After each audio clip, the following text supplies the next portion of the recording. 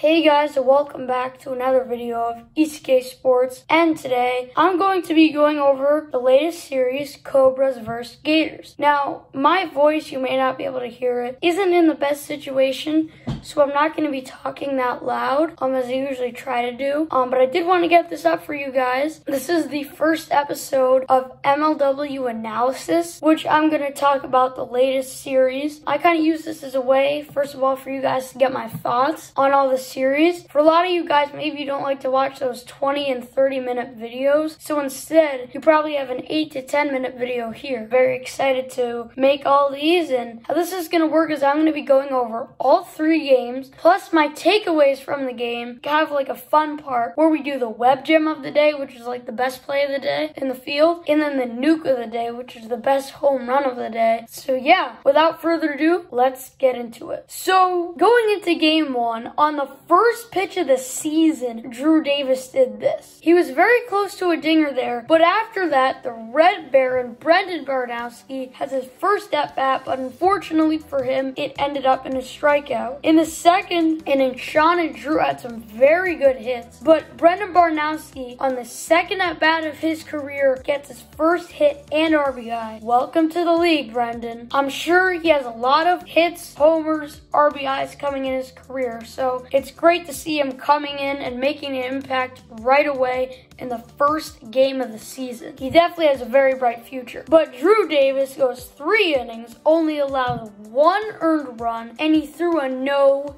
hitter. A really good no hitter for Drew, but I will say this Drew does need to be better at closing games in late situations because if you didn't see in the third inning, he gave up multiple walks and an almost homer to both Szerlag and Jorgensen. So, you know, this has kind of always been a problem for Drew. He did get the win, and that was the most important part. Jorgensen didn't look great though. He gave up multiple runs. Drew and Sean really ate off him. Drew went two for five with a double double. And then Sean was no slouch either, going two for two with a bunch of walks. Overall, the Cobras looked really good, winning the game 5 to 1. Now in game 2, which was a crazy one, Drew Davis was pitching in, against Chris Cheetam. Brendan Szerlag woke Drew up quickly, hitting a shot off the left field monster. Cheetam, after getting two nice quick outs, had some trouble throwing a bunch of hard sliders that didn't go well for him. There was a questionable call on a hit from Drew that was called safe. I thought thought it was out, but I guess it's safe. Then in the bottom of the second, Drew did this.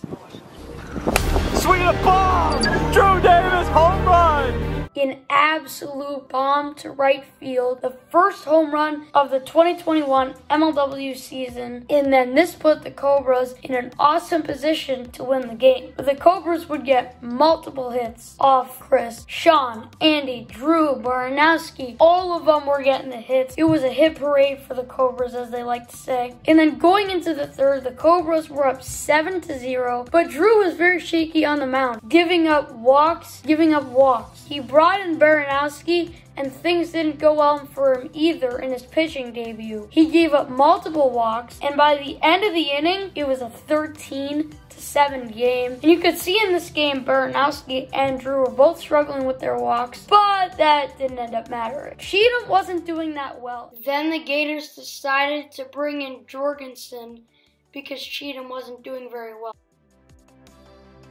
and Jorgensen just threw an absolute meatball, and Drew crushes it. That could be the bomb of the day. I honestly felt that, that Drew was gonna crush that. You know, you, you knew it was gonna happen, right? You, you knew it was gonna happen. And then Baranoski closes it out with a walk-off single, but the Cobras just barely won. Crazy game where both Drew and Andy went five for six. That is insane. But then finally in game three, when I was watching game three, I told myself Chris needs to start throwing more super curves and drop, and it'll go better. And that's exactly what he did. But Gus made his debut, and this is what happened on his first AB.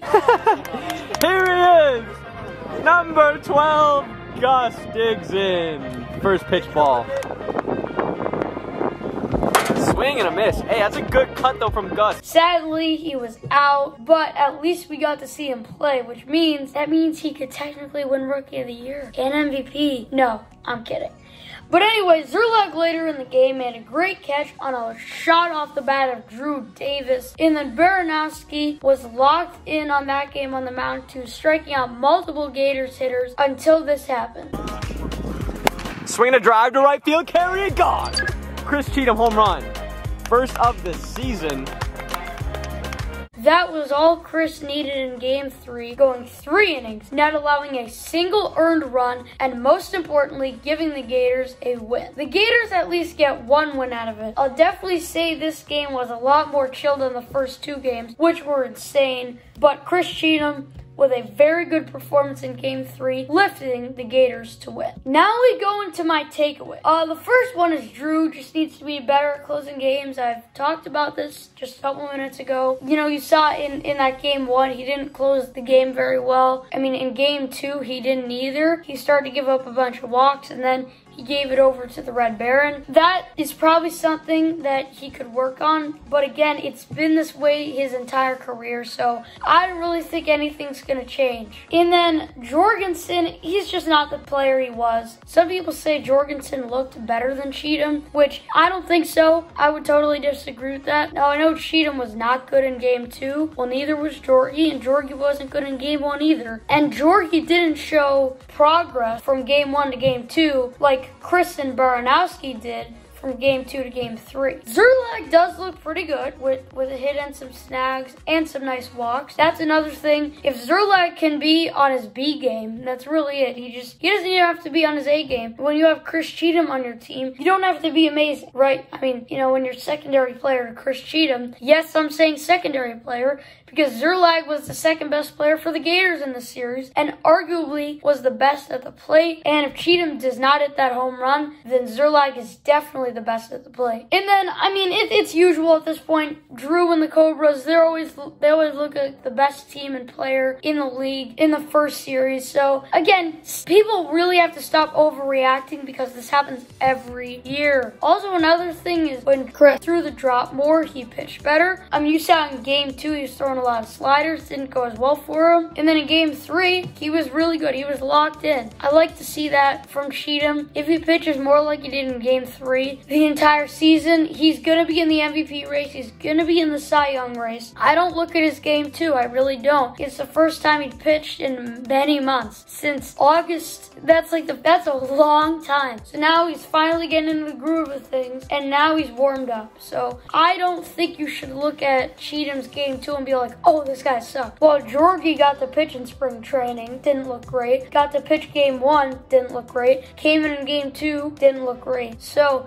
we've seen Jorgie in three different games. He hasn't looked great. We've seen Chris in two games, and he's looked really good in one and not great in the other. And the one he didn't look great in, that was the first game he's pitched in in like eight months. So you got to think about that. And I was sort of saying this earlier. Cheetam and Jorgensen did start out cold, but then Cheetam got the rust off while Jorgie didn't. I already kind of talked about that. But the biggest question doesn't have to do anything with the Cobras or the Gators, or it has to do with MLW offense back. No, it's not. I hope so. When I came into this year, I was tell I wanted it to be between 2018 and 2019 offense. Not the historically bad offense 2020 was, but not the pretty good offense in 2018. I wanted something sort of in the middle of 18 and 19. I mean, you saw it. There's three guys hitting over 500, Sean, Andy, Drew, and uh, the Red Barons hitting 300. So maybe MLW offense is back. I really hope it is. The funny thing is,